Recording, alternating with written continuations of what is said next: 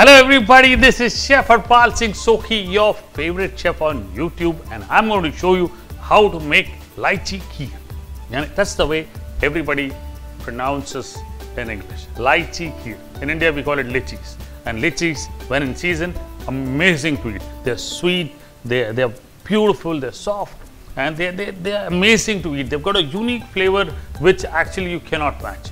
Now I'm extending that flavor to make a kheer. A kheer is made from rice, milk, fresh lychees and I'm adding some essences of rose and saffron to it. It's just amazing to eat and I've got some rice which is soaked here about 5 to 6 tablespoons of rice. You can use basmati or any kind of rice you've got and I've got some ghee here, saturated fat, 1 tablespoon that goes in here.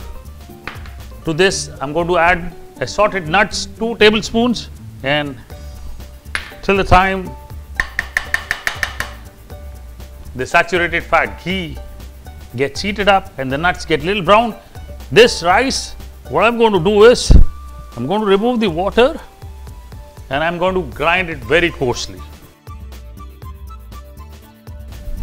Into my blender, little bit of milk for grinding, that's about it. And grind coarsely. That's about it. Just a quick churn in the blender so that you get the rice into smaller particles, not the larger particles. Now I'm going to add this straight away, milk straight into this so that all the rice. Now I'll cook this until the rice actually gets soft. This should take about 15 to 20 minutes and I need to keep stirring constantly so that the rice does not settle down and gets burnt. So this should take about 15 to 20 minutes.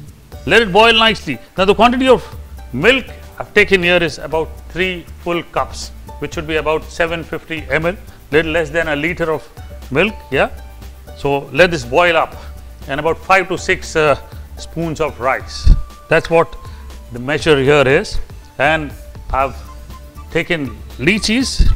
These are fresh lychees or lychees as you call and about 12 to 15 of them with the syrup in this. If you're taking fresh ones, peel them, remove the seed, take 15 of them and keep it aside. They're nice and juicy.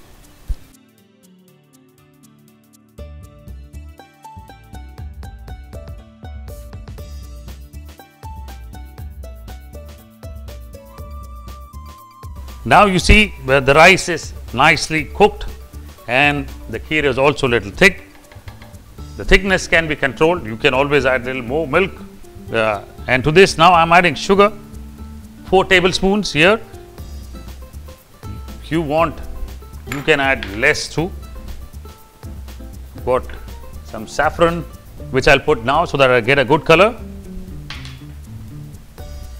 Green cardamom powder, teaspoon of that, mix this up well.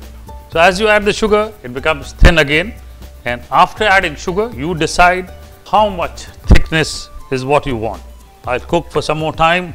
Now after adding sugar, you cook for another 5 minutes so that you get the right thickness. Finally, some rose essence.